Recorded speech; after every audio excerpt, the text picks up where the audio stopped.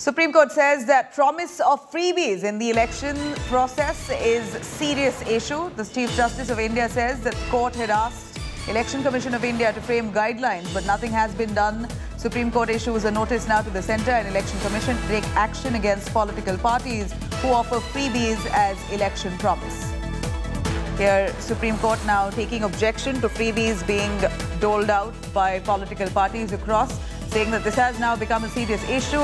A warning was also given to the Election Commission to frame guidelines as parties cannot flout. In fact, giving out freebies during the election campaign is an absolute no. This is a serious issue as considered by the Supreme Court.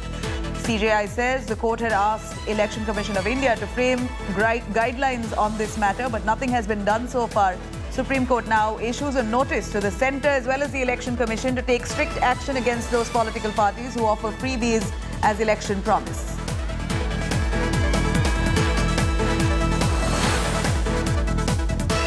And we cut across to Anisha Mathur joining us live for more. Anisha, uh, what was the reason for the Supreme Court to be uh, pulling up this matter, calling freebies a serious concern?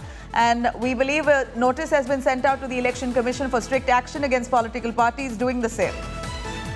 Well, yes, sir. The Supreme Court was hearing a PIL that has been filed by a lawyer, uh, Ashwini Upadhyay, who's also a BJP activist.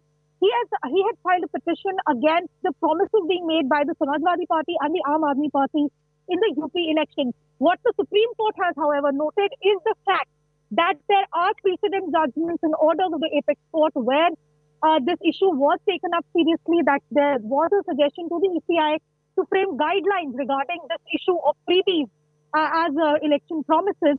And the court has noted that we had uh, made the suggestion that ECI was supposed to frame guidelines, but it has not been done so. Only one meeting with the political parties was held by the Election Commission. So now notice has been issued to the centre as well as the Election Commission on what steps can be taken to ensure that this kind of freebies distribution is not part of the poll uh, uh, of the poll right. politics, uh, election politics, and because the court has noted that this is a serious issue that, that can affect election outcomes, and the budget for the freebies is often more than the actual budget of running the state.